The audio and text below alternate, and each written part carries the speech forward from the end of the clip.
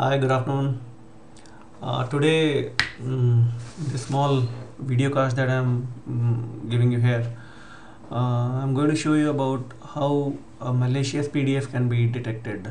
Malicious PDF is not necessarily infested with a virus, but a PDF can be malicious in many ways. In what ways? I'll uh, give you a brief overview kind of a thing when the results are shown at the end. So in this uh, uh, setup that I have uh, uh, done and you are seeing on the screen, uh, you see backtrack and here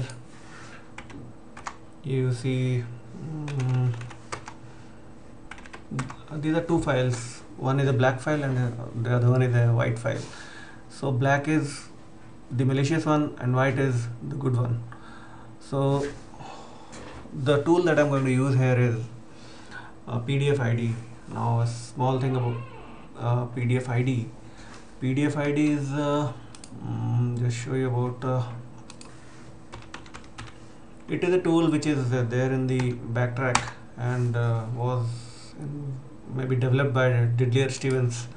This is the guy Didier Stevens, and you can have a scroll through what it offers, like uh, and with some few screenshots and how it got developed and how it can be malicious and how uh, you can detect that's shown screen shot wise so i'm going to show you the video cast. So it is a very simple tool. You uh, run your uh, backtrack. Uh, oh, what happened? Yeah. You just run your backtrack and then go to applications then backtrack and then forensics and then pdf id so here you come.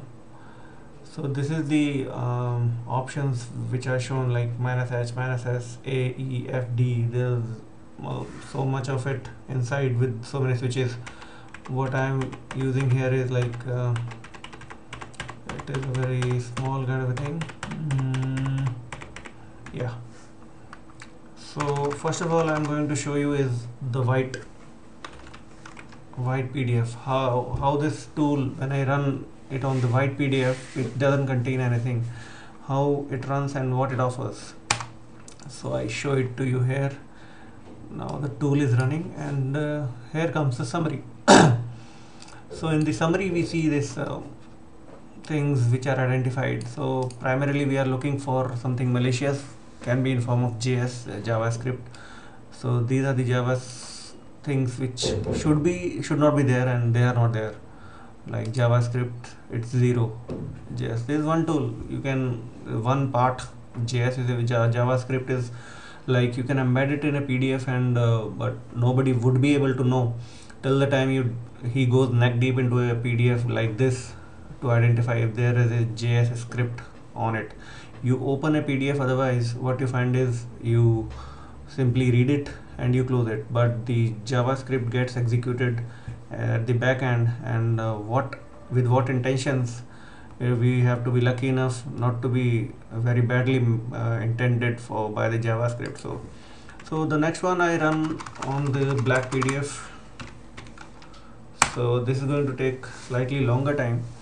Now i must tell you about this uh, white pdf it was a simple pdf which i had converted from uh, save as pdf i had created a doc file and then saved it as a pdf that small pdf extension that comes with the word microsoft word 2007 and this one pdf the one that i have renamed to black pdf is actually a pdf that i downloaded long back from a torrent now just to when i came across this uh, pdf id tool i thought i must check what i am already holding in my hard disk. So if they are actually malicious like we all keep hearing do not download do not download from torrents they can be harmful. So i just wanted to check. And the first file that i checked had a javascript. Now what i have already seen i'm just running it here. So it will take about uh, another about uh, 30 40 seconds before the results come out like uh, in the white pdf here what you see in the screen obj and obj stream and stream etc javascript js here they are uh, shown nil. Now here comes the result. Now you see the difference uh, between the two files the black and the white file. Uh, these are the object headers and stream nothing so what we should basically be interested here is there is a javascript inside it. There are some a, a, this uh, actions being performed at the back end uh, when you open this pdf unknown to the user unlike here it is all zero. Here you count count. Now there are ways to find out what uh, this javascript does then then you have to um, run a command like uh, strings. I think it'll run on this. Yes, i'll go to that folder cd mount shared yeah this was yeah. Strings y dot uh, mm, yeah.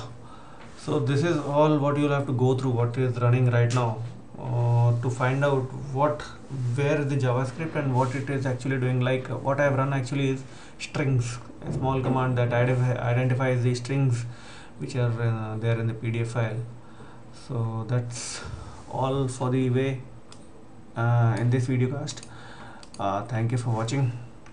Bye